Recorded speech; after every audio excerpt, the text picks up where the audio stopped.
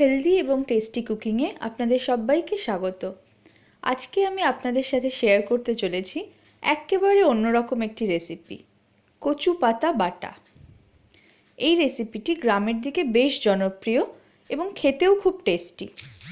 আসুন দেখে নিই, এটি বানানোর জন্য যে উপকরণগুলি লাগবে তা হলো কচু পাতা, কালো জিরে, পেঁয়াজ, রসুন কাঁচা লঙ্কা, সর্ষের তেল, নুন এবং হলুদ। এখানে আমি মাঝারি সাইজের চারটি কচু পাতা নিয়েছি। প্রথমে আমরা কচু পাতাগুলোকে মাঝারি সাইজের কুচিয়ে নেব এবং হালকা গরম জলে একটু ভাপিয়ে নিয়ে মিক্সিতে পেস্ট করে নেব।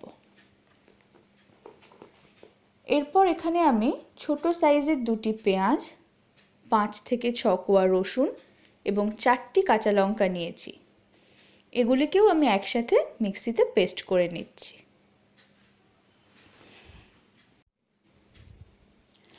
এরপর কড়াইতে সর্ষের তেল দেব। তিন থেকে চার টেবিল স্পুন তেল দেব।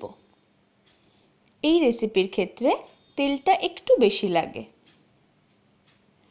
কড়াইতে কালো জিরে ফোড়ন দিয়ে দিলাম। এরপর পেঁয়াজ, রসুন এবং কাঁচা লঙ্কার পেস্টটি দিয়ে দিলাম।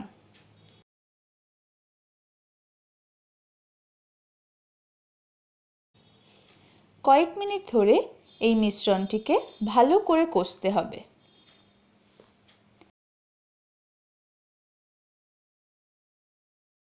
এবার এতে ওয়ান থার্ড টেবিল স্পুন নুন এবং ওয়ান ফোর্থ টেবিল স্পুন হলুদ দিয়ে দিচ্ছি।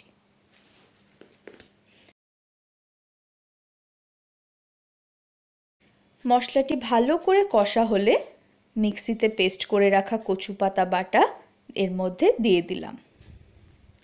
এবার ভালো করে নাড়তে থাকব যাতে পাতা বাটা এবং মশলাগুলি ভালো করে মিশে যায়।